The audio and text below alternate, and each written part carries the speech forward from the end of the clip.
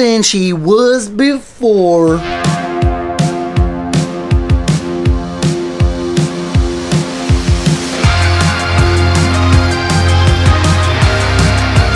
What's up? You got here right on time.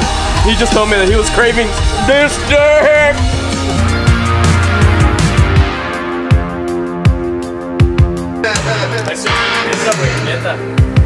¿Qué pedo, güey?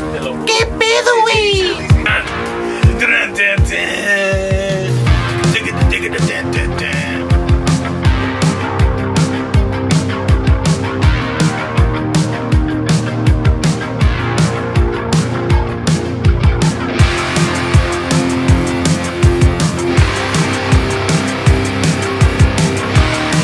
Anyway, so we hold our, our nipples to protect them, and we hold our balls to protect them from each other because we're a bunch of assholes. fucking classic.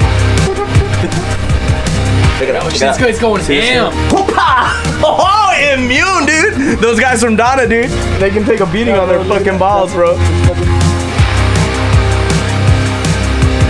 So how do you feel about your failed prank attempt?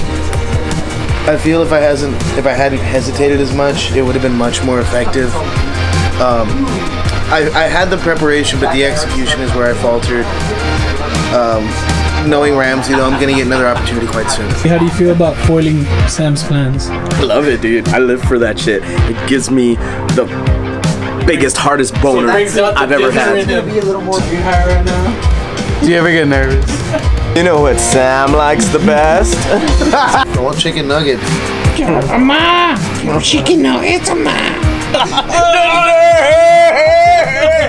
I was gonna get that one. Hey, Dewey Mike- Cox, you want to drop acid with the Beatles? Man, this sucks.